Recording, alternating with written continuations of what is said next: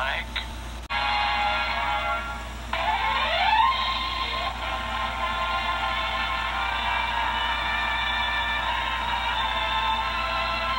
watching for great prizes. We're giving them away almost every hour, and the more prizes you win, the better chances you have of winning the million. Don't touch that dial. Just settle back and relax. We've got the entertainment for you all night long here on TV 20. Coming up in just an hour the Night Owl Theater. Next, it's Raymond Burr as Perry Mason.